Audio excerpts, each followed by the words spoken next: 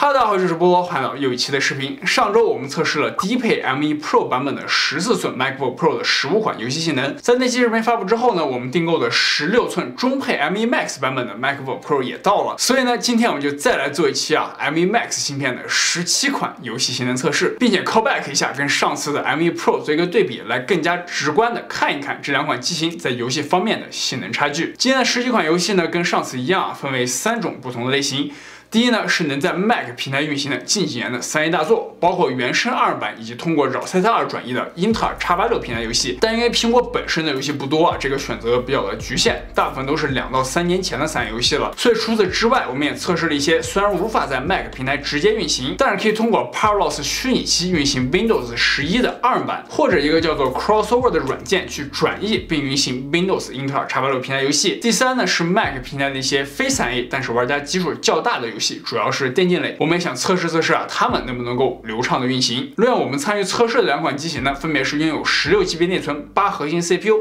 十四核 GPU 的残血版 M1 Pro 的十四寸 MacBook Pro，以及三十二 GB 内存、十核心 CPU、二十四核心 GPU 的，依旧是中配残血版 M1 Max 的十六寸 MacBook Pro。它们的售价呢，分别是一万四千九百九十九元以及两万三千四百九十九元。OK，我们今天第一款参与测试的游戏是由四 A Games 开发于二零一九年发售的地铁。离去，因为这款游戏并没有提供内置跑分，所以我们测试了一下游戏中的第一个场景的帧数，在一九二零乘一二零零分辨率中画之下，M1 Pro 在这一关基本保持在七十到九十帧这个范围，而 M1 Max 则更强一些，平均都能够达到九十五到一百帧左右。古墓丽影：暗影作为一款二零一八年发售的三 A 游戏，M1 Pro 在一九二零乘一零八零画质中的情况下，在性能测试中平均帧数为五十一，而 M1 Max 在相同画质下平均帧数则能够达到八十二的水平。于是我们尝试将画质调到了。最高发现，M1 Max 依旧可以将平均帧数保持在七十四，甚至当把分辨率提高到二一六零乘一四四零时啊，平均也可以达到六十 FPS，并且我们能够在测试结果中看出这款 M1 Max CPU 性能啊还是绰绰有余的。CPU 游戏渲染平均帧数在一零五以及一四三，而 GPU 则稍稍拖了后腿，平均只有六十一。所以如果是使用三十二核 GPU 的满血 M1 Max 跑的话，应该能够有更好的水平。《神剑原罪二》因为采集卡的缘故，这款曾经的年度最佳游戏在我们测试时最高帧数被锁定在了六十，在一九二零乘一二零零的分辨率下，无论是 M1 Pro 还是 M1 Max 均可以全程达到这个上限。只不过 M1 Pro 啊还是会偶尔掉帧到五十五的情况，而 M1 Max 呢则更为稳定一些。全面认真三国在一九二零乘一二零零的较高画质下，M1 Pro 的跑分基本维持在三十到四十之间，平均为三十五点九 FPS，而 M1 Max 呢则更高一些，在五十到七十 FPS 之间，平均为六十点四。而 Win Win 六呢在这两款机器的跑分中差距就没有那么的大了，在一零八零 P 中画质下，图像性能跑跑分中，M1 Pro 与 M1 Max 均在四十到六十 FPS 之间，而 AI 性能跑分中结果也差不多，两者都是在五十到六十 FPS 左右。不过仔细对比的话，还是可以看出啊，M1 Max 全身帧数都要稍高一些。消失的光芒一这款二零一五年三 A 游戏，在使用采集卡时也将最高帧数锁定在了六十，在一零八零 P 最高画质下，M1 Pro 与 M1 Max 均能够稳定的满帧数运行，游玩起来呢完全没有任何问题。上集视频我们说到过啊，CSGO 这款游戏对于苹果平台的优化也比较拉垮，在一零八零 P 默认画质之下，M1 Pro 与 M1 Max 呢均表现得非常不稳定，前者一直在四十五到八十 FPS 之间狂跳，而后者则在六十到一百二十之间。虽然帧数不低，但不断跳帧带来的画面撕裂延迟，并不能够称之为一个很好的游戏体验。而同属威慑的 DOTA 二表现则要稍好一些。